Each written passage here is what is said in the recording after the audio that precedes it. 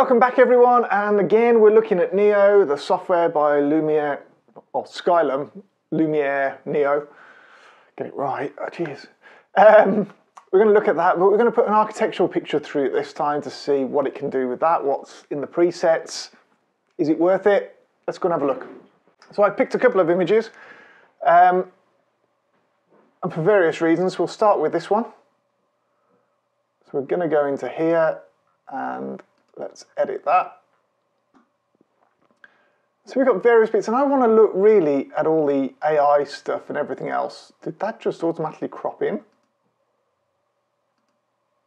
Let's see what the AI crop does.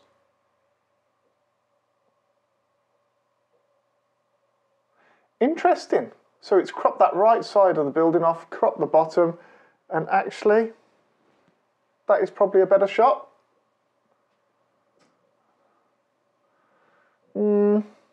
See, I want that line there to be straight. It hasn't done that, to be fair. Is that me being picky? Maybe. I don't care. So let's straighten that up a little bit. And the reason I want that straight is because our eye is going to notice something like that. I'm going to have it tilted very slightly. It doesn't bother me. Um, so the one thing that Lightroom's got that this doesn't is lights out mode. So while I'm cropping, I can dim everything else out around. I'm just seeing if there's anything in here. And there doesn't seem to be that does that. Because actually that's really blooming useful because it's hard to imagine when you can see the whole content. I'm almost, I'm putting my hands at the side of the grid there just to see what it's like. And until I commit, and I don't like that again. So, yeah, it'd be really nice if they add that. Skylum, next time, just add that for me, would you? That's a bit better. I like that. We've got leading lines coming in from the right there, angles leading me across to here to where we've got the BT. There we go. So that's a good starting point. So let's go to develop. So we've got a Luminar default. We've got some standard ones into there, so I can do camera standard. Now this picture was actually took with the Nikon Z FC. Hey, if you're not subscribed to this channel, I would really appreciate it as a creator. If you did, that would mean the world to me. It helped me build the channel, and that's what I'm trying to do here. A like or comment would be fantastic as well. Thanks. So I can process all that. I'm just trying to see what they've got automatically. I've got to be honest. That's brought out those reflections in those windows beautifully. Too much there. I must admit, I initially thought when I took this it was going to be black and white. It still might. Let's see what we've got here converting. So I'm doing this and I'm picking out little bits like these lights here are yellow. So as I move that, it either dims them or lights them. I'm trying to work out if I like that or not. Reflection of the glass, no reflection. What do I like? Yeah. And this thing about black and white when you're not using a preset, it's playing with it to see what you get and if you like it or not. Interesting, that's brought out the greens even though I've converted to black and white instead of strengthening. Hmm, don't like that so much. I'm sure there's a reason for it. I can bring the greens back so we can do, actually, yeah, maybe that's the, the reason for it we can bring it back so it's spot color. I think I've got to go to edits to do this now, once I've done it once. We could just bring that back. Just bring the blues back. Interesting. Yeah, actually, um, the more I think about that, it's quite a nice little feature. Allows you to do spot colour. Structure, that should be quite nice on architecture. What's landscape to? Oh, dehaze. Okay, we'll come back to that on the landscape one later on. Uh, relight, let's see.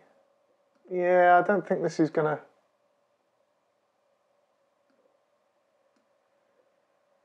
Not really feeling that for this scene, I've got to be honest. Although actually, he says, but yeah, darkening this right hand side down so my eyes go to this green actually is quite a nice thing.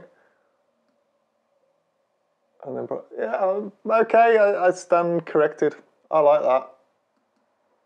Yeah, that builds that image.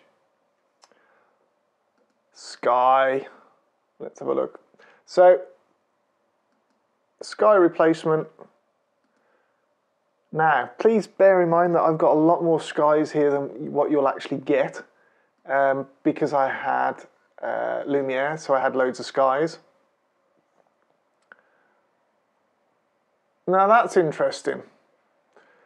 Obviously I've converted it to black and white, it's put a sky in and it's coloured the sky. oh, that's a bit of a pain in the backside, isn't it? So now I've just lost all of that lovely conversion. Oh, it's such a shame. Obviously we've got the glass there that's come through, which is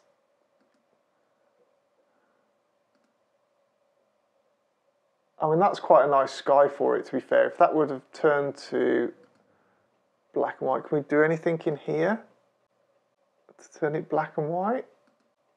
Or do I have to go back into here now and do black and white? Yeah, I do. Interesting. Okay, so that's made me think about the process and the order I do stuff in. So that sky is actually quite nice. It doesn't distract from the building. But now I've got to go back. Can we reorder these? Nope, we can't.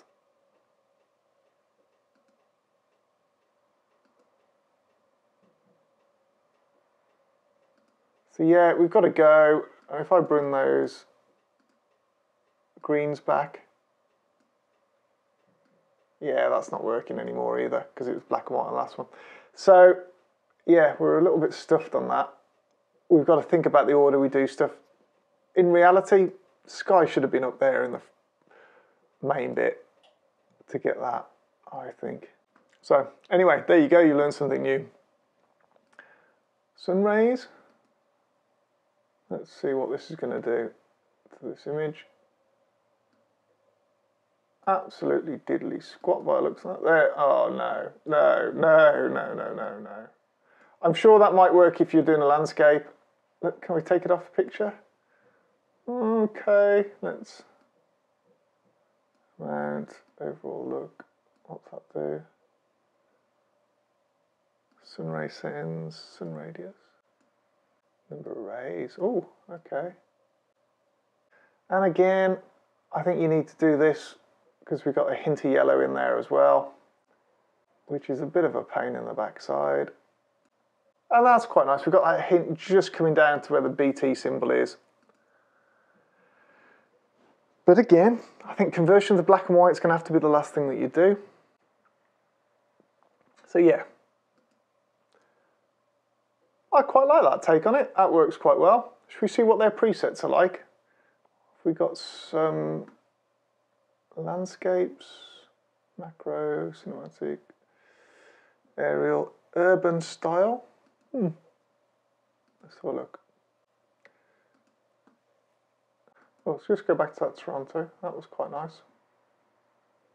Yeah, that's nice. Really punching that out. Okay, what else have we got that might work quite well for that? Big city, that'd be good for a nighttime scene. I quite like the suggestions that it's given you. Let's have a look at those. Okay, they're mediocre. I think, yes, architectural, some of your stuff is probably better in Lightroom. Um, that's just because I've built up, I suppose, a library in Lightroom, to be fair. You can do the same in here. I'm sure they're going to have loads of bits like that. Um, I'd like to see some more black and white stuff. I know we've got black and white in portraits. I want to see some more architectural stuff maybe. There you go, quick little look at those two architectural shots. Nothing special. I just wanted to see what we could do with it, give you some idea to think if you can do something with it in terms of for your shots and give you a little insight rather than having to get the software and play with it. I think it's good. Um, for architectural, does it replace Lightroom? Not really. But in terms of things like the sky replacement, I would totally get that because the quality of that is amazing the way it cuts everything out. You haven't got that in Lightroom. Yes, you can have it in Photoshop. I've got to admit, I don't rate Photoshop's sky replacement. It's not brilliant. It really isn't. And that beats it hands down. It's automatic, it just gets on with it. They got some nice guys that you can get into and do stuff as well.